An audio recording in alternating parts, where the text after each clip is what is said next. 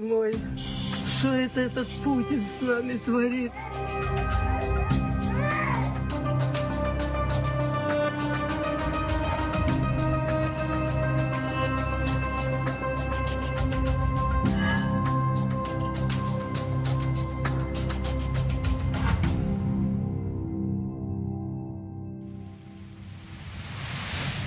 Program Ukraina w ogniu. Opowiadamy o tym, co na własne oczy także widzieliśmy u naszego wschodniego sąsiada. O tym, jak, no cóż, w XXI wieku, w roku 2022, jakiś nowy nazizm, jak z czasów hitlerowsko-stalinowskich, napadł na e, kraj niewinny.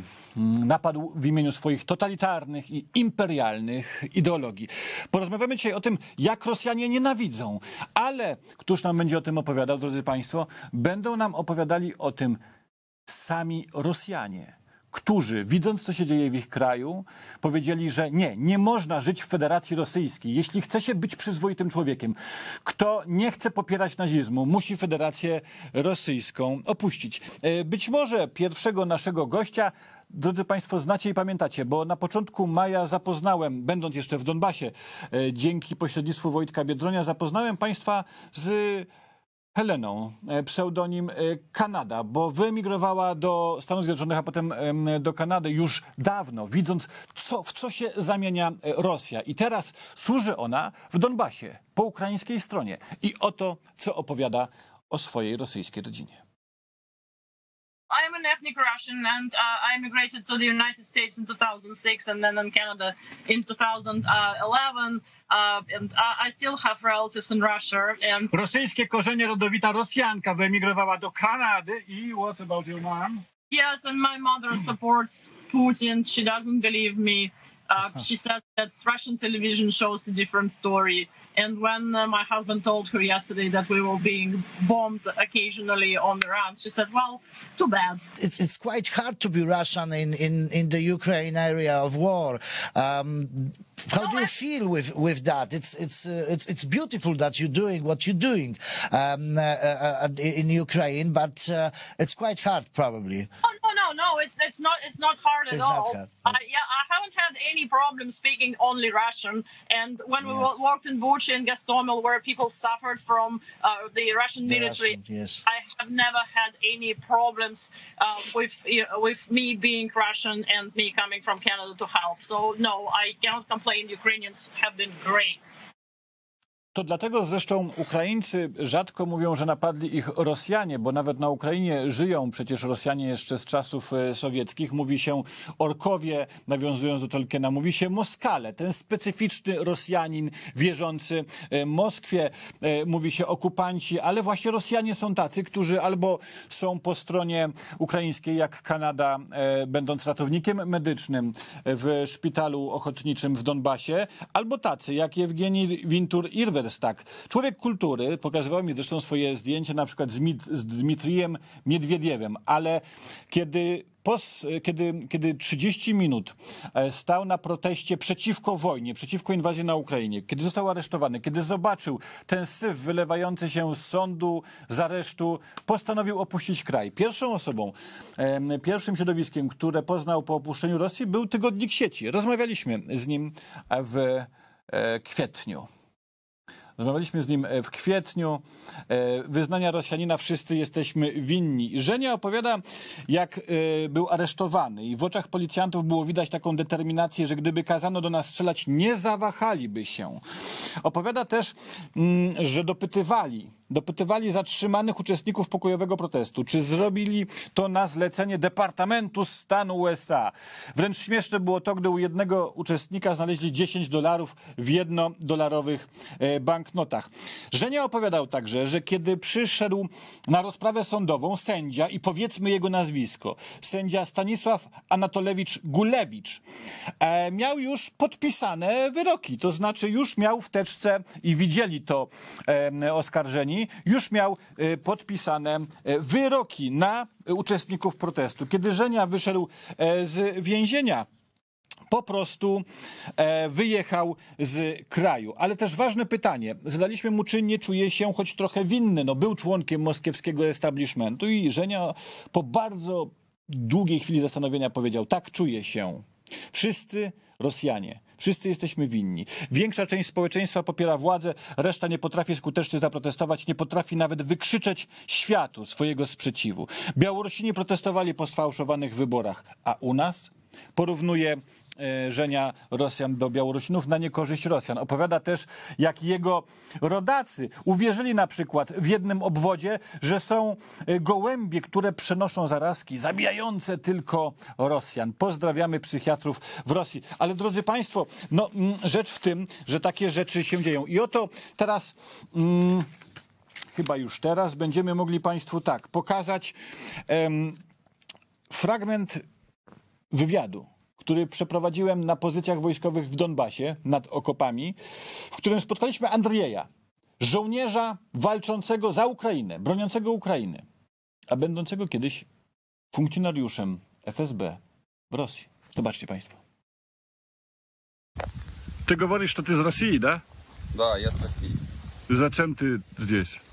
После Майдана я приехал сюда, когда был Майдан. Я знал, что я служил в первую чеченскую в России. Ага. Служил в таких сложных войсках. Я служил в ФСБ.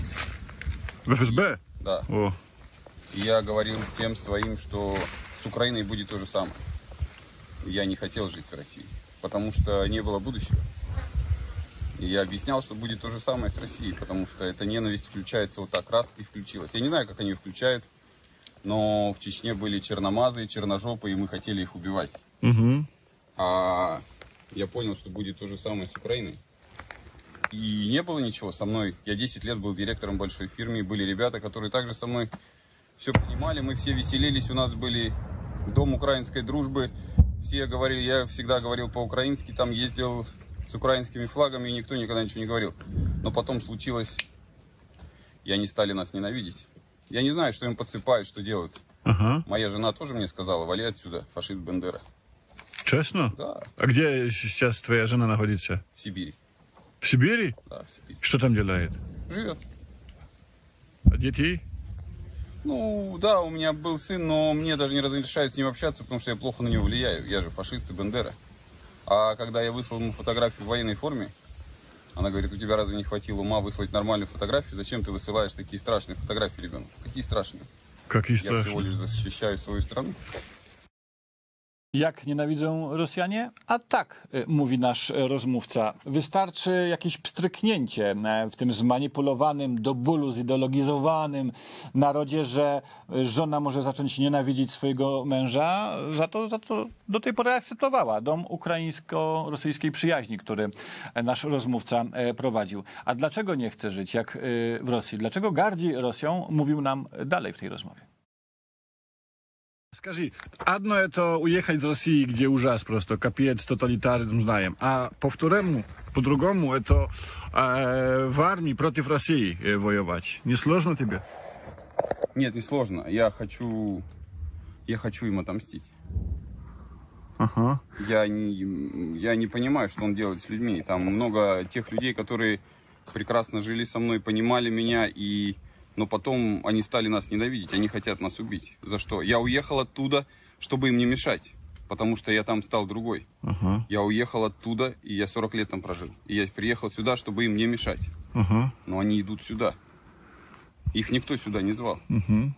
Я всегда это объяснял. У вас есть свой дом, своя страна, вас никто не заставляет. Почему они сюда идут? Они и не хотят, они хотят нас уничтожить. Мы им не нравимся просто как люди, как раса.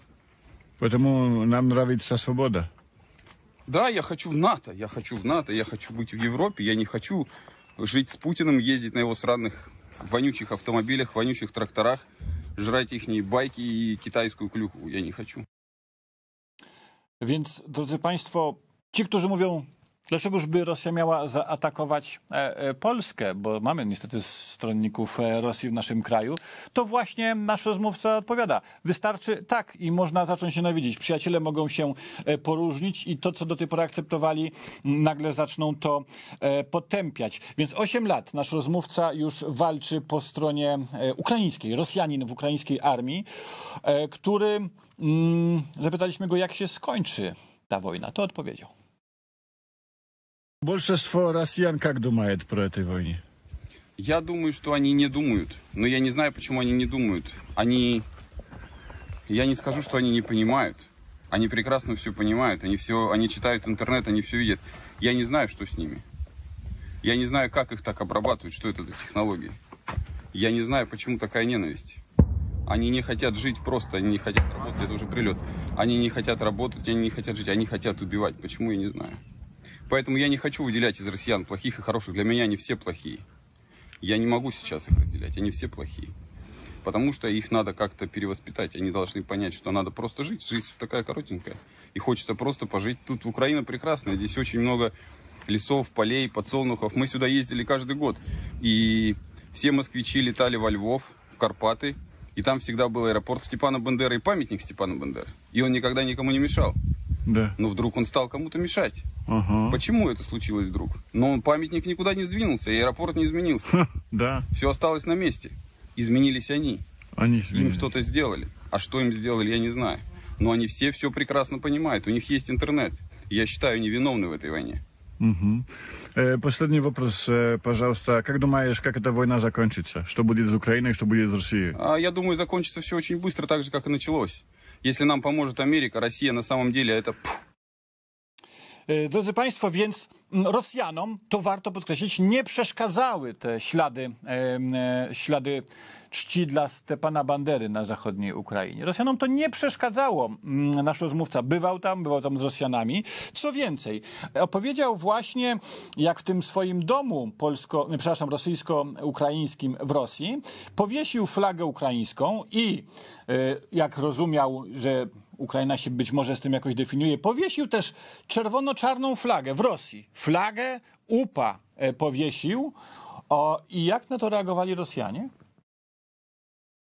Мне нужна была жесткость, да? Ага. Я вешал черно-красный флаг и украинский флаг. Ага. И все относились к этому ровно. Но стоило мне повешать американский флаг, Ага. и это было ужасно. Люди лезли, чтобы его сорвать. Они хотят сорвать американский флаг. Россияне все делают для того, чтобы поссорить Украину с Америкой. Все делается. Потому что одна Украина не сможет противостоять России. Чисто физически она не сможет. Она очень большая Россия. И поэтому только с Америкой, со всем остальным миром мы сможем успокоить эту заразу.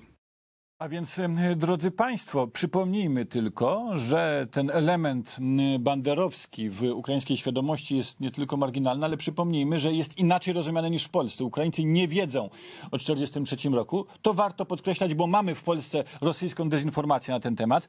Ale jak widzicie Państwo, to amerykańska flaga wywoływała furię u Rosjan, a nie ukraińska czy flaga OUN y, UPA. Proszę Państwa, mam dla Was taką, dla mnie to rzecz kłopotliwa bo mam tylko jedno zdjęcie człowieka tutaj, także Rosjanina, którego spotkałem po stronie ukraińskiej. To ten e, człowiek, który opowiadał mi, że podczas wojny czeczeńskiej właściwie zginął, służył w rosyjskiej armii, wysłano go na śmierć, ale przeżył. Ranny, ocalony przez Czeczenów. Zrozumiał, czym jest Rosja. Przeszedł na stronę ukraińską. Już od ponad dwóch dekad wspiera państwo ukraińskie przeciwko Rosji, rozumiejąc, czym ta Rosja jest. Mamy dla Państwa jeszcze oczywiście tekst e, w tygodniku e, sieci. Tekst spadochroniarza rosyjskiego, który e, będąc ranny w szpitalu napisał 140-stronicową książkę. Paweł Filatiew napisał książkę opisując, jak wygląda rosyjskie wojsko, jak się traktuje tych ludzi jak mięso armatnie, jak kradną, jak piją, jak żyją, jak zwierzęta. Choć Filatiewowi nie warto wierzyć we wszystkim do końca, bo chyba troszkę się usprawiedliwia. On mówi, że tylko czapkę ukradł, a reszta no trochę kradła, bo była do tego zmuszona przez złe traktowanie po rosyjskiej stronie. Nie do końca trzeba w to wszystko wierzyć, ale ta dzicz w rosyjskiej armii jest. Drodzy Państwo, Ukraina w ogniu, ale na koniec.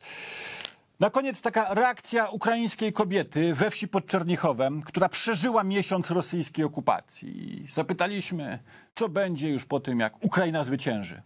Oto, co nam odpowiedziała. Будемо гуляти, як Да. побєда буде. Ого. Будемо Оце праздникувати. не пила, то нап'юся до побєди. O! І боса буду танцювати. Отак. Upije się po zwycięstwie i będzie tańczyć boso na ulicy. A kto wie, może my razem z nią. I po programie Ukraina w ogniu będzie, daj Boże, Ukraina po zwycięstwie, Ukraina w odbudowie. Zostańcie Państwo z nami, za chwilę program Gorące Pytania.